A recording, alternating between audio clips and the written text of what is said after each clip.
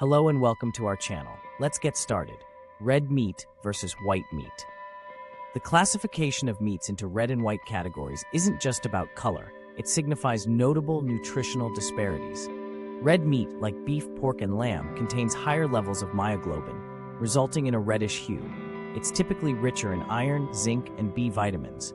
In contrast, white meat, found in poultry like chicken and turkey, boasts lower myoglobin levels, appearing lighter in color. Nutritionally, white meat is leaner and lower in saturated fat compared to most red meats.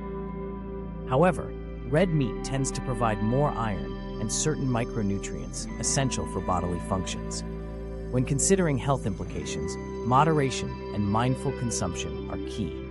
Incorporating a variety of proteins into your diet, including both red and white meats, alongside plant based options, ensures a well rounded nutrient intake. By understanding the distinctions between red and white meats, you can make informed dietary choices that support your overall health and well being. Thank you for watching. Don't forget to like and subscribe for more helpful tips and information. See you in the next video.